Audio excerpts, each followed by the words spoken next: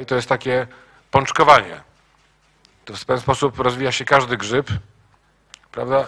Ale głowa psuje się od góry. Pytanie, co z tymi, którzy są teraz w gimnazjach? Jak wygląda cała ta forma przejścia? Czy my jesteśmy w ogóle do tego przygotowani? Proszę Państwa, bo to łatwo powiedzieć, że ja też byłem w 8-4. Też byłem w, w, w podstawce 8 lat, potem 4 lata gimnazjum.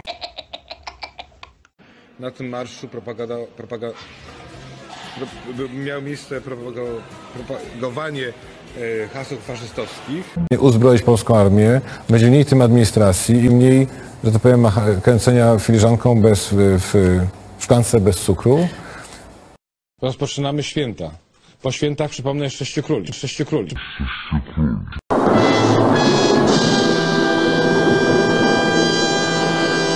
Kogo chce kupić nowoczesna z Platformy? Nikogo nie będę kupował, nie będziemy kupować. e, W ogóle na razie nie ma, moim zdaniem, tematu transferów. Natomiast jest tak, że A to jest nieprawda. Kilk, kilkanaście osób z Platformy, które mogłyby znaleźć się w nowoczesnej jest. E, tak mówił anonimowy, to nie. anonimowy poseł e, nowoczesnej. No Państwo, I mówił też, że rozmowy trwają. e, to, że anonimowy coś powiedział, no to trudno mi to komentować. Na Czyli pewno to nie jest prawda? Ja Nie słyszałem o 13. Jest na pewno tak, że ludzie... Kilkunastu, ja nie powiedziałam Przepraszam, trzynastu. przepraszam. A, czyli trzynastu jest, tak?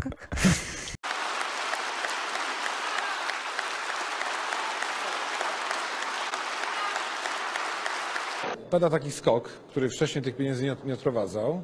Czyli my wszyscy obywatele już 3,5 miliarda złotych wydaliśmy na to, żeby ratować niegospodarność w skokach, czyli...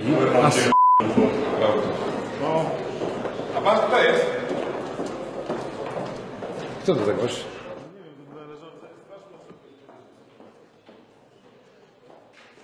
Dlaczego mówi e, pan o Donaldzie Tusku, że on uciekł? Donald Tusk dostał propozycję. Nie byłem zwolennikiem e, rządów Donalda Tuska. Uważam, że cieszę się, że jest szefem, że jest pre- szefem, prezydentem e, Unii Europejskiej. Szefem E, czego? Natomiast e, Szefem czego jest? Może Komisji Europejskiej. On jest prezydent, prezydentem, prezydentem Unii Europejskiej, tak to się a, nazywa. a szefem? Przepraszam. Przewodniczącym? Rady Euro... Nie, przepraszam. Rady Europejskiej Barroso. Jest prezydentem Unii Europejskiej formalnie. Było dobrze. Dobrze, było Było dobrze. dobrze. Przykrością muszę stwierdzić, że, że to, co się stało z Brexitem, Brexit jest porażką rządu. Pani premier mówiła porażką